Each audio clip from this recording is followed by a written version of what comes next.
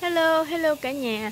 Thì hôm nay là 27 Tết Thì mình đóng cái kiện hàng này Mình gửi xe Phương Trang Cho một khách ở ờ, thành phố Hồ Chí Minh. Thì ở thành phố Hồ Chí Minh cho nên mình gửi xe Phương Trang thì rất là mau Có thể là sáng mơ là sẽ đến. Mau lắm mọi người ơi.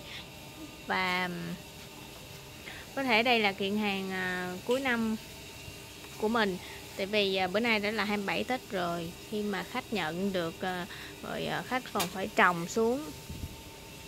Thành ra là mình gửi chuyến hàng này là hàng cuối năm.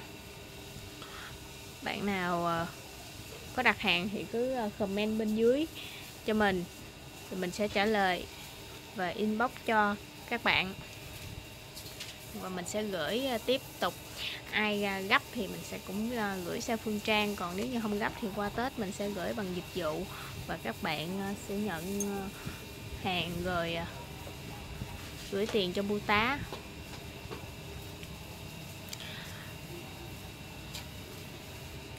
Rồi, mình cảm ơn các bạn đã xem video này. Và hẹn gặp lại trong video tiếp theo của mình.